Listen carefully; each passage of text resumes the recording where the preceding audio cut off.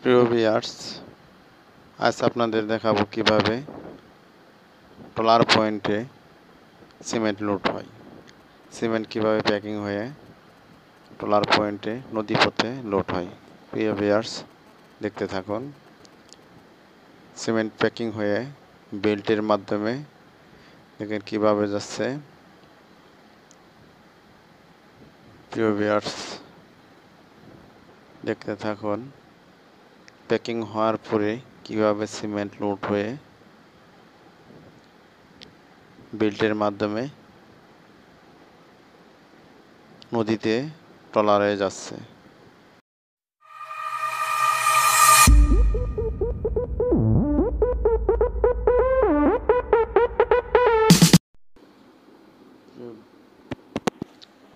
প্রিয় ভিউয়ার্স এর আগে আমি একটা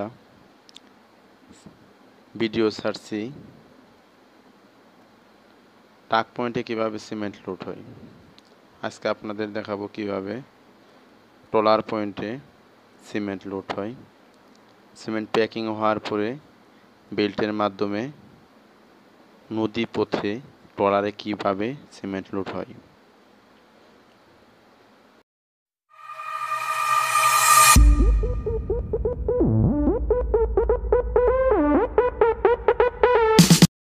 ভিউয়ার্স ভিডিওটি দেখার জন্য এবং চ্যানেলটি সাবস্ক্রাইব করার জন্য সকলকে ধন্যবাদ। প্রিয় ভিউয়ার্স প্রত্যেকটি মানুষের মনে নতুন কিছু জানা এবং শোনা দেখার জন্য কত হলে থাকে, তাই আপনাদের জন্য একটি নতুন ভিডিও দিলাম। ভিউয়ার্স সিমেন্টে কতারই শব্দ শুনে নেই এমন কোনো মানুষ আমার মনে হয় নাই। কিন্তু সিমেন্ট কীভাবে তৈরি হয় এবং সিমেন্ট কীভাবে লুট হয়? আসলে কি সিমেন্ট আমরা চাউল এবং ধানের মতো কি স্টক করে রাখতে পারি, নাকি আমরা সরাসরি লুট দিই? তা আজকে দেখাবো এই ভিডিওর মাধ্যমে। প্রিয় ভিউয়ার্স সব কিছু দেখার জন্য এই ভিডিওটি দেখতে থাকুন।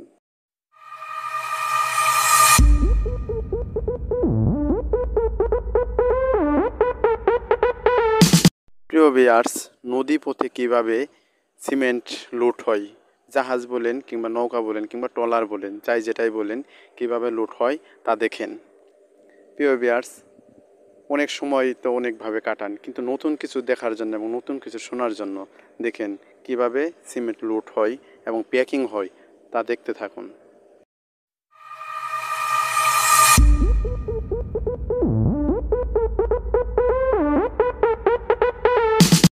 প্রিয় বিয়ার্স আপনারা দেখতে পাচ্ছেন প্যাকিং হয়ে সরাসরি সিমেন্ট বেল্টের মাধ্যমে যে আপনারা দেখতেছেন সিমেন্টের ব্যাগগুলো আসছে, এটাকে বেল্ট বলে। বেল্টের মাধ্যমে এসে ট্রলার এসে পড়ে।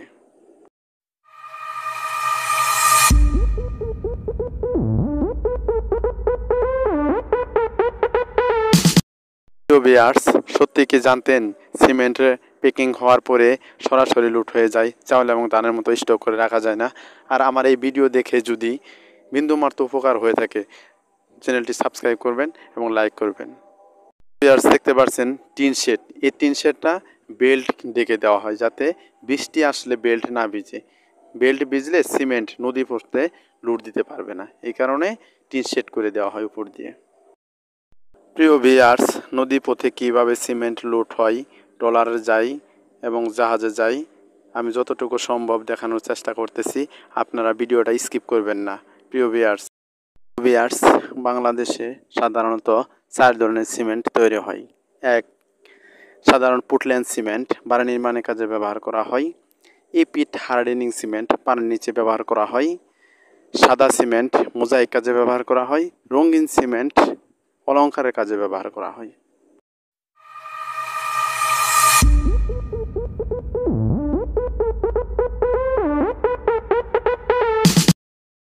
বিয়ার্স অর্ডিনারি পুটল্যান্ড সিমেন্ট কত প্রকার কি কি তার একটা ভিডিওতে জানাব। সেটি জানার জন্য চ্যানেলটি সাবস্ক্রাইব করে রাখুন। ভিডিওটি কেমন লাগল? কমেন্টের মাধ্যমে জানাবেন।